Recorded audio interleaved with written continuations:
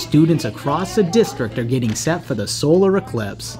At Okatie Elementary, the teacher is speaking the kids' language so they will better understand what's going to happen on Monday. The moon is kind of photobombing, right? Has anybody ever seen a photobomb before? Yes. The kids use marbles and tennis balls to understand distance and how the moon, sun, and earth will move. They also use lights to create shadows. I think right now it's very abstract of a thought and then once we see it on Monday and the kids really experience it in firsthand, they're going to have lots of questions. So we're hoping that with the things that we do in here, um, that that real world application and the hands-on really makes the connections for them to understand, you know, what's what's going on. The students also wrote down several facts about the solar eclipse to share with their families.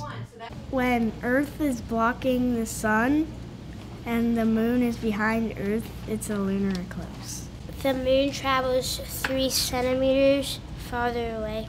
I never knew that there was two types of eclipses. I just thought it was the solar eclipse. So I didn't know that there was a lunar eclipse. I can see something, yeah. At H.E. McCracken Middle School, kids learned how to make pinhole cameras. If you have too much light coming in, you're not going to be, have a clear, sharp image.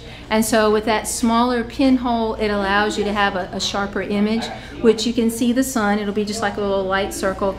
And they'll be able to have that moon when it comes in front of the sun it'll be a clear image for them to see. The students shine flashlights through different size holes so they could see firsthand the appropriate size to make for their cameras.